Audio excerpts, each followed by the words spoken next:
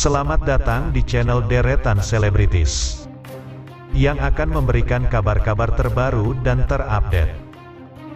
Sebelum lanjut jangan lupa luangkan waktu Anda sebentar untuk like, subscribe, dan nyalakan lonceng notifikasinya agar tidak ketinggalan video selanjutnya dari kami. Kepulangan Gen Halilintar ke Indonesia beberapa waktu lalu membuat nasib asmara Tarik Halilintar dan Fuji menuai sorotan. Pasalnya, beredar kabar hubungan asmara Tarik Halilintar dan Fuji tak dapat restu dari orang tua Gen Halilintar.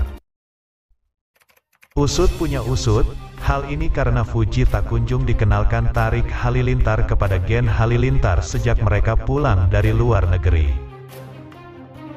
Tak heran jika banyak netizen menyebut Tarik Halilintar harus memperjuangkan cintanya dengan Fuji agar dapat restu dari orang tua. Namun, Tarik Halilintar justru bersikap santai akan isu yang beredar tersebut. Melansir Tribun Sumsel, adik Atta Halilintar mengatakan dirinya yang lebih tahu keluarganya ketimbang netizen. Aku yang lebih tahu keluarga aku. Aku juga yang lebih tahu soal hubungan aku karena aku yang ada di dalamnya, kata Tarik Halilintar, Senin, tanggal 25 Juli tahun 2022. Adik ipar Aurel Hermansyah ini pun meminta netizen buat tidak berspekulasi mengenai hubungannya dengan Fuji. Lebih baik kayaknya kita nggak bikin skenario sendiri apalagi menggiring opini, terang Tarik Halilintar. Lebih lanjut, Tarik Halilintar mengatakan bahwa dirinya sudah tahu betul langkah yang akan diambil ke depannya.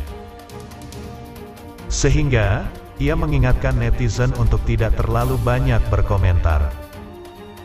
Bingung sama teman-teman online ini? Kok nggak gini, kok nggak gitu, ujar Tarik Halilintar.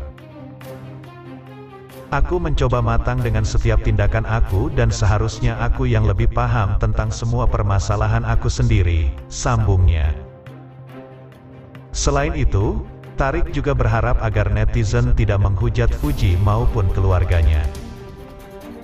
Stop menghujat orang lain, putih keluarga, untuk tindakan aku sendiri, hujat aku saja, ungkapnya.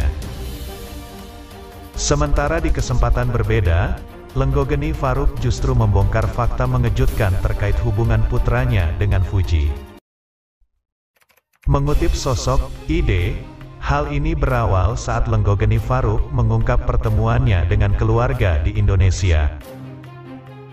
Iya setelah tiga tahun udah ketemu Atu juga, gak ketemu Amina, gak ketemu kakek nenek, ziarah makam nenek almarhum.